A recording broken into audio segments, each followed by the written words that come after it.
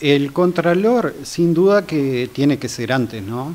Eh, lo que se hizo el año pasado, eh, cada vendedor se tenía que inscribir en la intendencia y la intendencia después le hacía un control de, que lo que estuviera vendiendo no estuviera por encima de los decibeles permitidos.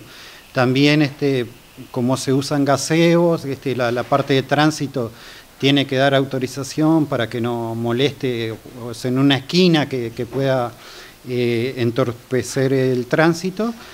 Y, después eh, imagínate que el 25, por ejemplo, 5 minutos antes de las 12 es imposible controlar. O sea, si se te escapó por algún lado, no, no lo puedes controlar, no puedes poner un impetor en cada esquina. Digo.